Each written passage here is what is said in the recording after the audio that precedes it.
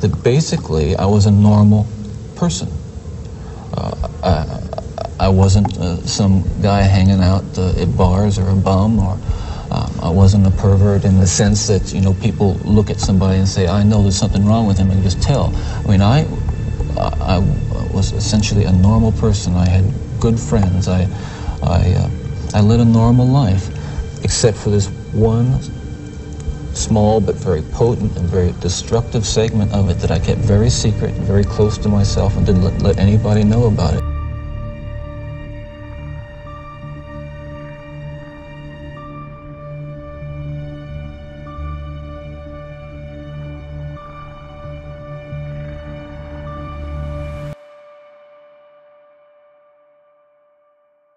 Heute soll es um Theodore Robert Ted Bundy gehen. Ted Bundy war ein US-amerikanischer Serienmörder und Vergewaltiger, der zwischen 1974 und 1978 mindestens 30 junge Frauen und Mädchen in dem Bundesstaat Washington, Utah, Colorado, Oregon, Idaho und Florida tötete. Nach seiner Festnahme wurde er zum Tode verurteilt und im Florida State Prison auf dem elektrischen Stuhl hingerichtet.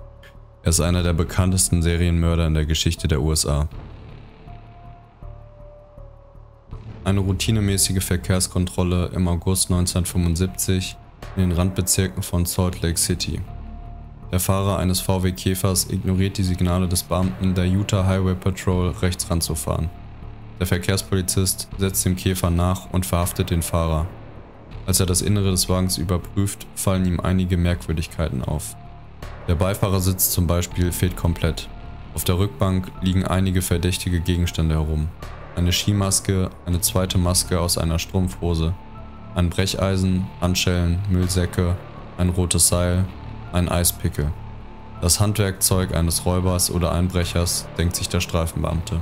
Denn in Wahrheit ist mit dem Verkehrspolizisten gerade einer der gefährlichsten Verbrecher der Kriminalgeschichte ins Netz gegangen. Theodore Robert Bundy, genannt Ted Bundy, ist heute der Inbegriff des Serienmörders. Die Ermittlungen der Kriminalpolizei in Utah ergaben dann auch rasch, dass der Verhaftete vermutlich für mehrere ungeklärte Mordserien in den Bundesstaaten Washington, Oregon, Colorado und schließlich Utah verantwortlich war. Die Polizei konnte zum damaligen Zeitpunkt noch nicht korrekt benennen, wie groß die Zahl der Mordopfer war. Die Beamten ahnten bloß, dass es verflucht viele sein mussten. Und es sollten noch weitere folgen. Während man ihm in Utah den Prozess machte, unternahm Ted Bundy zwei Fluchtversuche. Den letzteren von beiden war am Silvester 1977 erfolgreich. Er hatte im Gefängnis einen genauen Fluchtplan ausgetüftelt. Wohin er fliehen wollte, wie er fliehen wollte und wie er sich eine neue Identität schaffen konnte. Sein Fluchtziel war Tallahassee in Florida. Der Plan ging perfekt auf, von einem Detail abgesehen. Ted Bundy hatte sich vorgenommen, fortan ein völlig unauffälliges, gesetzestreues Leben zu führen. Seine Vorsätze währten gerade einmal 14 Tage. Dann mordete er an einer Nacht zwei Frauen. Als er einen Monat später ein zwölfjähriges Mädchen tötete und versuchte aus Florida zu fliehen, geriet er erneut an einen Verkehrspolizisten. Die waren irgendwie ein Schicksal. Ted Bundy wanderte wieder ins Gefängnis, dieses Mal für immer.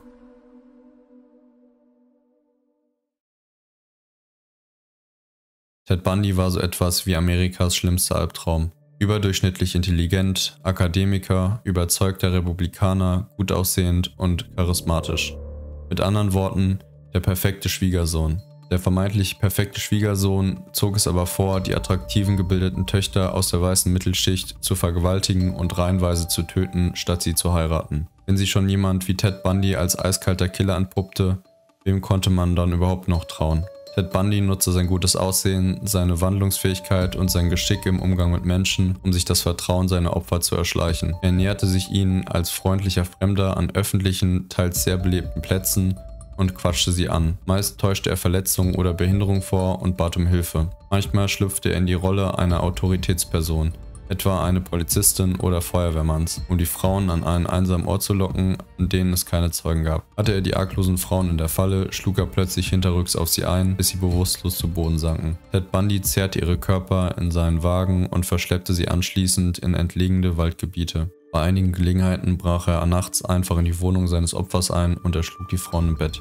Die abgelegenen Leichenversteckte suchte Ted Bundy wieder und wieder auf. Oft verbrachte er dort Stunden und schändete die Leichen seiner Opfer, bis die Fäulnis und aasfressenden Wildtiere dem ein Ende setzten. Mindestens zwölf seiner Opfer enthauptete er. Die abgetrennten Köpfe bewahrte er für eine Weile in seiner Wohnung auf. Die Andenken eines Serienkillers. Ted Bundy wurde nach seiner Verhaftung nicht erneut in Utah vor Gericht gebracht. Der Prozess fand in Florida statt und beinhaltete nur Morde, die er in diesem Bundesstaat verübt hatte. Während des Gerichtsverfahrens verteidigte sich Ted Bundy selbst. Eine gewisse juristische Vorbildung besaß er ja. Nach dem Abschluss eines Psychologiestudiums hatte er ein Studium der Rechtswissenschaft begonnen. Aber natürlich qualifizierte ihn das nicht, in einem Mordprozess die Rolle des Anwalts zu übernehmen. Ted Bundy lernte diese Lektion auf die harte Tour, als die Geschworenen den aus ihrer Sicht überheblichen Selbstdarsteller, der den Gerichtssaal in einen Zirkus verwandelte, humorlos zum Tode verurteilten. Doch selbst wenn er vor Prozessbeginn um das Ergebnis gewusst hätte, hätte das vermutlich an seinem Auftritt als Verteidiger in eigener Sache nichts geändert. Denn Ted Bundy ging es in erster Linie immer um Kontrolle und Macht, so auch vor Gericht. Zudem zog das Verfahren ein gewaltiges Medieninteresse nach sich. 250 Journalisten aus aller Welt verfolgten das Prozessgeschehen im Gerichtssaal. Der Bundy-Prozess war die erste Gerichtsverhandlung überhaupt, landesweit live im Fernsehen übertragen wurde. Ein Faktor, der ganz wesentlich zum Bekanntheitsgrad von Ted Bundy beigetragen hat und sich bis heute nachwirkt. Und Bundy genoss es sichtlich, im Mittelpunkt der Aufmerksamkeit zu stehen. Nach seiner Verurteilung war es damit schlagartig vorbei. Ted Bundy sann nach neuen Wegen, das Interesse wieder auf sich zu ziehen. So plante er ernsthaft, sich als eine Art Berater für die Polizei zu etablieren. Die USA wurde von immer mehr Mordserien überrollt. Da konnte er mit Expertenwissen dienen, um die Täter zu schnappen. Er erhoffte sich, dass er dich damit unersetzlich machen würde und die Hinrichtung auf eine unbestimmte Zeit verschoben werden würde. Tatsächlich bat die Green River Task Force, die Mitte der 1980er einen besonders üblen Burschen jagte Ted Bundy um Unterstützung. Der Green River Killer operierte im Großraum Seattle und in dem Gebiet, das Bundy in seinen eigenen Verbrechen hervorragend kannte. Bundys Beratung führte zwar nicht zur Verhaftung des Täters, dennoch bestimmte das Profil des Mörders, das Ted Bundy vom Green River Killer fertigte, in vielen Punkten mit der Realität überein, wie sich erst knapp 20 Jahre später herausstellen sollte. Die Polizei nahm jedoch Abstand davon, als ihn eine Art freischaffenden Profiler zu beschäftigen. Seine letzte Trumpfkarte spielte Ted Bundy kurz vor dem anberaubten Termin seiner Hinrichtung aus. Seit seiner Verhaftung hatte er hartnäckig geleugnet, eines der Verbrechen, die man ihm zur Last legte, begangen zu haben. Durch ein umfassendes Geständnis wollte er die Vollstreckung des Todesurteils nochmal hinauszögern. Er wusste, dass den Kriminalbeamten noch viele Fragen unter den Nägeln brannten. Da gab es ungeklärte Mordfälle, bei denen nicht zweifelfrei feststand, ob Bundy wirklich der Täter war, oder vermisste Frauen, deren Leichen man bisher nicht gefunden hatte. Ted Bundy gestand ein, zwischen 1974 und 1978 insgesamt 31 Morde in sieben verschiedenen Bundesstaaten begangen zu haben. Obwohl die Ermittler nun in vielen Fällen endlich Gewissheit erlangten, bezweifelten sie, dass Bundy wirklich mit der vollen Wahrheit rausgerückt war. Viele Beamte sind nach wie vor überzeugt, dass die wirkliche Opferzahl weitaus höher liegt. Rechtsanwältin Polly Nelson, die beim zweiten Prozess zum Verteidigerteam gehörte, schrieb in ihrem Buch, dass Ted Bundy für sie das personifizierte Böse schlechthin sei.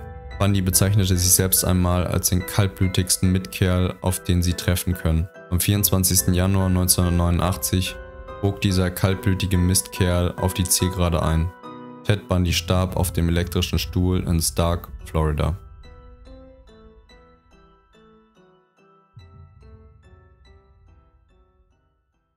Falls euch das Ganze gefallen hat, lasst mir gerne ein Like und ein Abo da.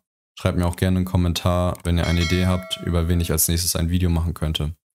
Vielen Dank fürs Zuhören und bis zum nächsten Mal.